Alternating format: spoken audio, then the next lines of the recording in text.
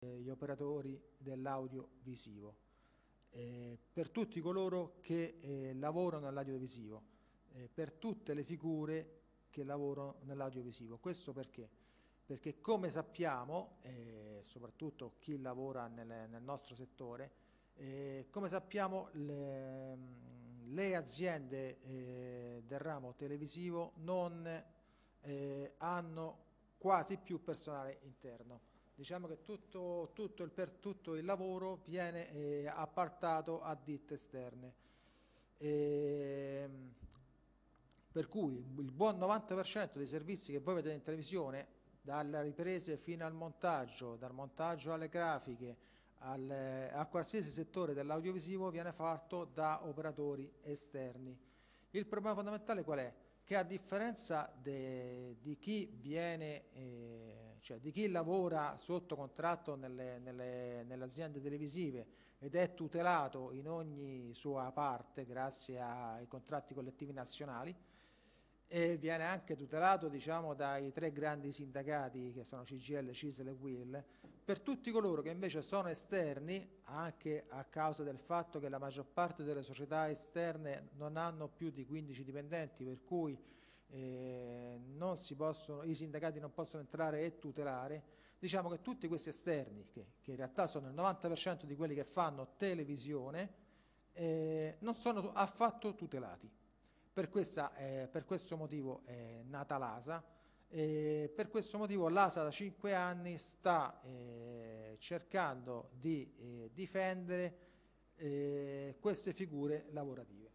Allora, il problema fondamentale qual è? Che queste figure lavorative non, ehm, vengono chiamati tra virgolette gli invisibili perché praticamente non sono riconosciute in nessuna maniera, non hanno diritto di firma a differenza degli interni e e molte volte eh, essendo parcellizzati in diverse, in diverse mh, mm, strutture, ad esempio essendo parcellizzati in partite IVA, essendo parcellizzati in contratti collettivi differenti che vanno da, da quelli migliori ai peggiori, eh, non sono assolutamente eh, mai mh,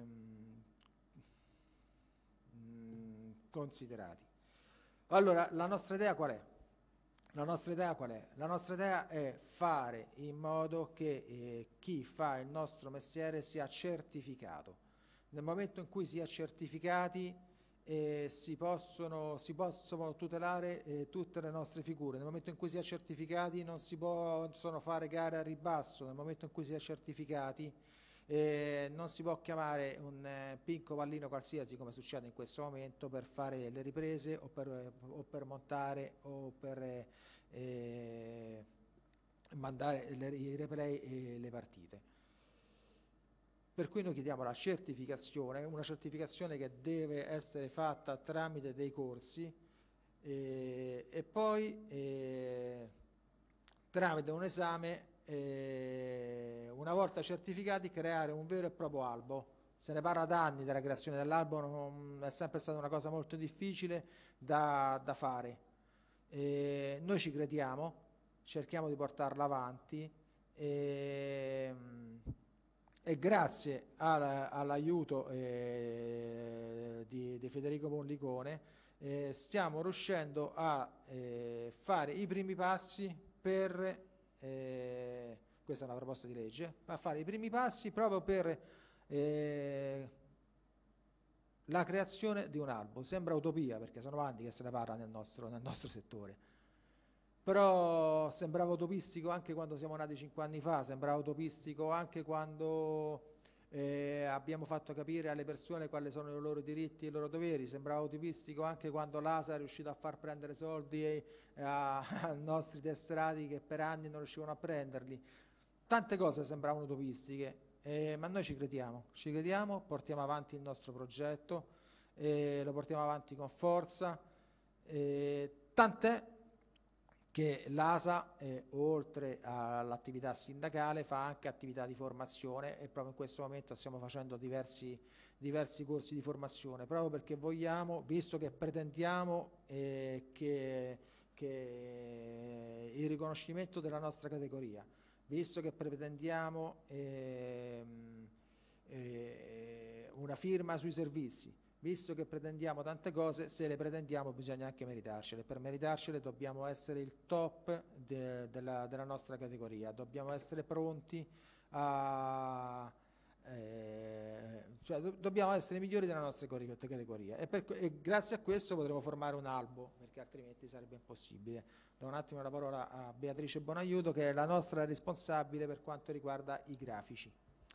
Sì, buongiorno, grazie Nico. Eh, nostro è un mestiere che ehm, richiede una preparazione tecnica specifica questa preparazione tecnica eh, può essere acquisita ad oggi tramite diversi canali e purtroppo però non, non, è mai esattamente ciò che serve poi sul campo, diciamo. Di conseguenza il fatto che eh, sia relativamente semplice acquisire le conoscenze tecniche necessarie, ma eh, che queste non siano poi eh, effettivamente ehm, al 100% efficaci quando eh, ci si trova in ambito lavorativo, eh, rende piuttosto instabile il mercato sia ehm, per chi ci lavora che per chi ehm, richiede il, il, lavoro dei tecnici, in quanto ehm, ci si ritrova spesso ehm, con persone non completamente preparate eh, per inesperienza o per superficialità anche a volte, che però tranquillamente vengono messi a svolgere alla metà del prezzo eh, il lavoro di una persona eh, più esperta e più preparata. Di conseguenza, rendendo anche quindi eh, la qualità eh, del, del, risultato sempre più eh, decadente, sempre più approssimativa. E questo capita in tutti i settori dell'audiovisivo.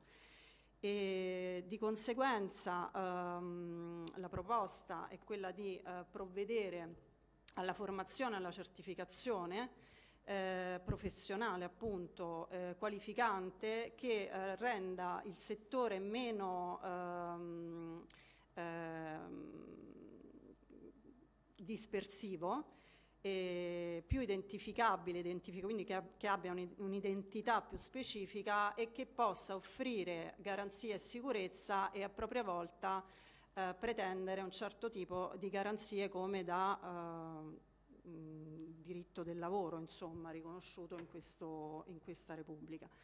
Quindi eh, l'obiettivo è quello dunque di uh, rendere um, più chiaro e, e meno dispersivo il, sia la domanda che l'offerta in questo settore e che esistano eh, più sicurezze e più garanzie sia per i lavoratori che per i committenti. Grazie mille.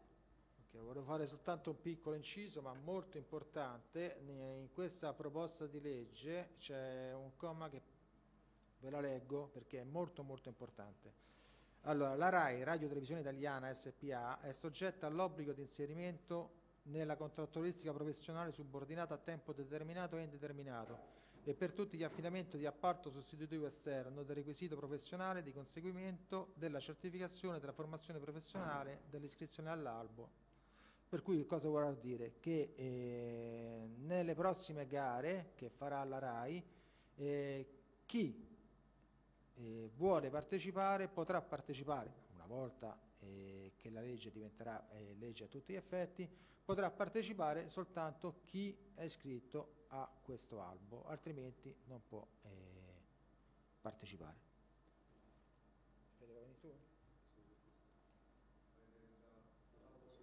Sì, sì, parlo. Faccio un attimo Vai, resta. Ce do io il posto. Ah, ok. Vai, resta. Buongiorno a tutti, Alessandro Falcone di una nuova associazione di categoria Cinema, TV e Spettacolo. Dai. Eccomi qua, scusatemi, buongiorno a tutti. Alessandro Faccone, presidente di una nuova associazione eh, di categoria TV Cinema Spettacolo. Ehm, siamo qui, come ha ben detto Nicola, per uh, iniziare a spronare ciò che da anni si sta cercando di fare eh, con molta fatica, ma eh, ormai siamo ad un, ad un buon punto, cioè il riconoscimento della qualifica, il riconoscimento della categoria e la qualifica eh, adesso è importante per il mondo dell'audiovisivo. Um, rispetto a qualche anno fa eh, dove c'era un, uh, un, percorso uh, portato avanti più dalle televisioni, e dalle emittenti private e dalle, e dalle reti dove all'interno si formavano e si creavano uh, dei professionisti, il mercato ovviamente adesso si è allargato, arrivano sempre più tra virgolette, nuove figure, nuovi professionisti che hanno voglia giustamente di intraprendere questa carriera, eh, però si trovano all'interno di un mercato dove non è eh, tutelato, di un mercato dove non c'è un controllo um, della, della, professione, un controllo uh, della qualità ehm, e, e c'è il rischio che anche queste mh, nuove figure, quindi tra virgolette eh, questi aspiranti lavoratori della, del mondo audiovisivo non crescano nel miglior modo eh, possibile, nel senso che eh, riescono a coltivare la loro passione e magari diventare professionisti eh, non tutelati e non con la forza eh, di una, una, figura che, che li segui e che li, e che li formi essenzialmente. Eh, sono indubbiamente non ehm, sono, non sono soggetti ovviamente ad una, ad una, formula di riconoscimento perché di fatto eh, siamo qui proprio per portare avanti questa, questa, nuova, forma, questa nuova, norma e questa nuova ricerca di, di, di un nuovo, nuovo, albo o comunque di una nuova um, entità, ecco, di un nuovo organo. Eh, il professionista eh, dell'audiovisivo in Italia è un grande lavoratore, quindi credo che sia arrivato il momento, crediamo, eh, che sia arrivato il momento di un riconoscimento, di una qualifica, eh, di un, eh, come dire, anche di una rivisitazione del, dei contratti eh, collettivi nazionali del lavoro, eh, perché ci sono qualifiche che in qualche modo non corrispondono o magari non rispecchiano la professione stessa. noi come associazione di categoria VMP da um, ormai qualche anno stiamo cercando di portare avanti un tema importante di una qualifica e di una professione del mondo della televisione chiamato tecnico RVM. Eh, stiamo cercando di risanare per l'appunto e di trovare una nuova formula anche a livello di, ehm, eh, di nome, anche a, livello di, eh, di, qualifica stessa, perché il tecnico RVM ad esempio è registrazione video magnetica allo stato attuale non è delle più favorevoli come, eh, come nominazione e quindi come come indice di riconoscimento. Ecco. E sono ormai due anni che stiamo cercando di eh, far emergere la categoria, eh, creare formazione professionale come eh, Nicola accennava prima perché crediamo moltissimo nella formazione professionale e stiamo cercando ovviamente di tutelare il professionista che sta nel mercato del libero e del freelance. Ecco. Eh, crediamo che sia arrivato il momento di non essere più invisibili, quindi magari eh, lanciare un altro messaggio. Probabilmente noi esistiamo, quindi io esisto, credo che sia eh, il messaggio giusto. E, mh, nulla, speriamo che essere qui ci porti nella strada, o meglio nella finalità che avevamo deciso tempo fa. Ecco, finito, grazie.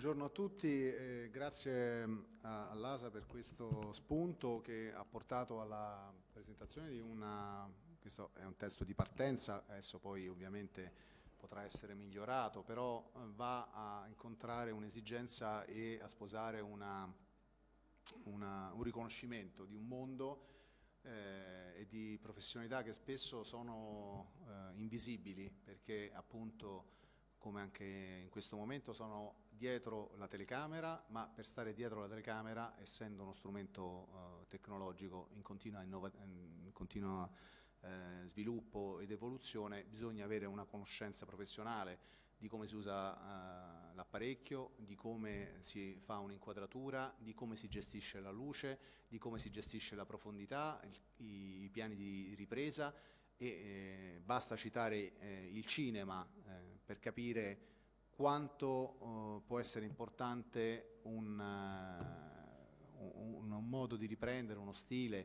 una tecnica rispetto a un'altra. E allora non si capisce per quale ragione eh, nel lavoro, nel giornalismo, nel, eh, nel, appunto nell'organizzazione delle truppe non debba essere riconosciuta questa professionalità.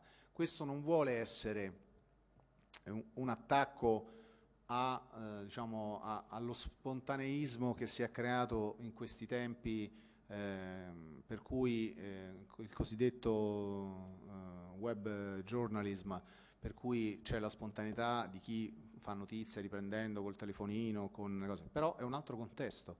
Se un'agenzia, se un, un emittente nazionale, se una testata ufficiale anche online decide di avere un canale eh, di web television, di, eh, appunto, di procedere con servizi, i servizi devono essere fatti professionalmente. Perché? Perché è un rispetto per gli utenti e un rispetto per questa professionalità. Quindi credo che la, la rivendicazione dell'ASA sia corretta e credo che la RAI in particolare, ma questo io ne ho fatto già battaglia in vigilanza e sono intervenuto anche eh, in audizione con la direttrice degli acquisti, eh, eh abbiamo rivendicato il fatto che debbano essere rispettate queste professionalità, lo abbiamo detto anche all'amministratore eh, delegato Salini quando è venuto più volte in audizione nell'ambito delle varie fasi, anche eh, sul piano industriale, cioè non si può giocare a ribasso andando a, a, a, liberalizzare un settore, andando a colpire la professionalità, non prevedendo appunto un albo che certifichi la qualifica di operatore, problema che peraltro tra poco affronteremo anche rispetto ai comunicatori, eh, tra ai quali appartengo anche io, io vengo da una storia, ho fondato un'agenzia, ho fatto per anni questo lavoro e a, to a tutt'oggi, eh, al di là del titolo di laurea, non sei comunque riconosciuto come, come operatore della comunicazione. C'è giusto un, un, registro, ma non è un albo. Quindi noi su questo eh, c'è il nostro massimo impegno, c'è il, il grande, grande, rispetto per questo lavoro che è anche un lavoro eh, di servizio pubblico, di informazione, ma può essere e è sicuramente anche eh, artistico perché in base a come faccio un'inquadratura, come faccio un servizio, come faccio una ripresa, do un taglio a, a, quella, a, quel servizio, a quella ripresa e a quello, eh, creo magari anche uno stile. Ci sono storie eh, nel giornalismo italiano eh, per cui un certo tipo di ripresa, un certo tipo di, eh, anche di, di, di tecnica eh, televisiva ha creato poi un genere anche giornalistico. Quindi eh, credo che sia una proposta di buonsenso, poi ripeto, è un testo base ancora emendabile eh, nell'iter eh, aperto a tutti i contributi, anche alle osservazioni critiche, qualora ci dovessero essere, eh, della maggioranza o di altri eh, gruppi parlamentari. L'importante è, è comunque affrontare e sollevare il problema, perché il problema esiste e la professionalità degli operatori eh, va rispettata. Grazie. Ringraziamo Federico Mollicone eh, proprio perché grazie a lui eh, si sta cominciando un percorso, un percorso un po' lungo, forse tortuoso, ma che siamo convinti eh, arriverà a, a buon fine, perché la costituzione di un albo, la costituzione di una certificazione, speriamo poi più là anche il riconoscimento di, di una firma su, sui nostri servizi, non si vede perché, non, non si capisce perché eh, no, no, non ci firmano i servizi.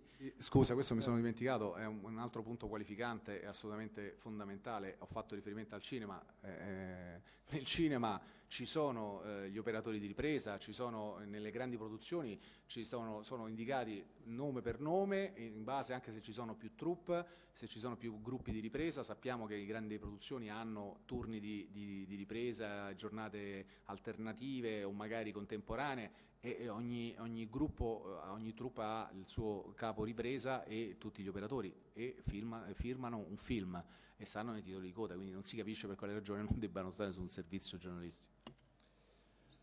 Eh, volevo solo approfittare della, della situazione eh, per toccare un attimo un tasto un po' dolente, come sappiamo tra pochissimo a causa di alcune scelte condivisibili o non eh, della RAI, molti operatori eh, fonici sul territorio di Roma perderanno il proprio posto di lavoro.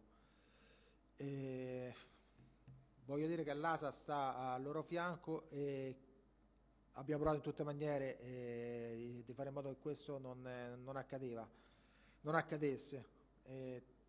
Dopo tre anni e mezzo, purtroppo, dopo tre anni e mezzo di lotte, purtroppo questa cosa accadrà. Si dice dal primo agosto. Eh, L'ASA starà vicino a tutti coloro che perderanno il posto di lavoro,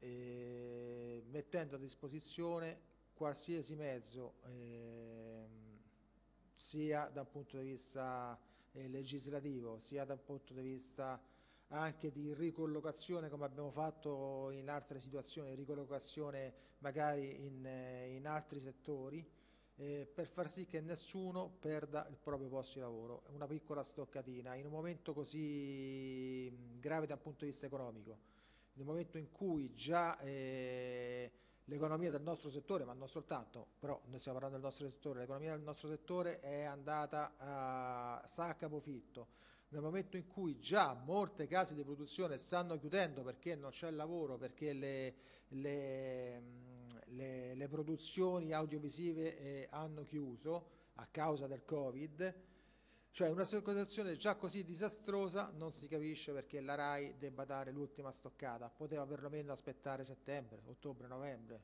in un momento in cui magari l'economia si risollevava, invece ha deciso di dare il colpo finale e in questo modo di far chiudere tante, tante produzioni.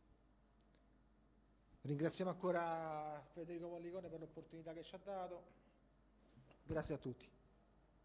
Grazie a voi, ovviamente solidarietà agli operatori, abbiamo sollevato questo tema anche in vigilanza, ma la risposta degli acquisti dei RAI è stata diciamo, tranchant, ora sappiamo che ci sono anche dei contenziosi in essere e vediamo anche come evolverà. Grazie a voi. Grazie a tutti. Buona giornata, grazie.